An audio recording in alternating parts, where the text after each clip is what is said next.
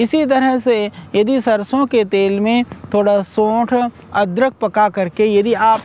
करते हैं उससे मालिश तो उससे जो आपकी अर्थराइटिस की शिकायत है दर्द की शिकायत है वह दूर हो जाती है हालांकि पीड़ांतक तेल हम आश्रम में बनाते हैं दर्द के लिए उसके अंदर भी मूल तिल और सरसों का तेल और बाकी औषधियाँ होती हैं वह भी दर्द के लिए बहुत ही लाभकारी है बहुत ही गुणकारी है जिनको घुटनों में दर्द है जोड़ों में दर्द है शरीर में दर्द है उन लोगों के लिए बहुत ही गुणकारी उपाय है 100 ग्राम सरसों का तेल 20-25 ग्राम लहसुन उसमें 20-25 ग्राम सौंठ को डाल करके धीरे धीरे आंच पर पकाएं पकने के बाद जब वो बिल्कुल लाल सुर्ख हो जाए अदरक और लहसुन को वहाँ से आप उसको छान के हटा दें और बाकी तेल को आप रखिए तो यह आपका दर्द निवारक तेल और लाभकारी तेल है